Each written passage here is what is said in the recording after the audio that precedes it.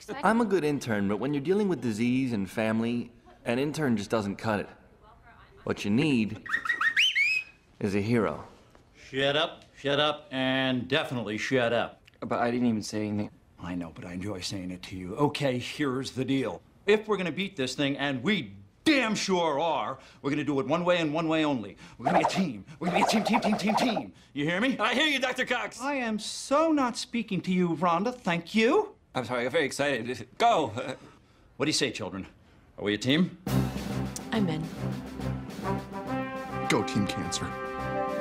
Wow, he did it. I've got to go take care of some other patients.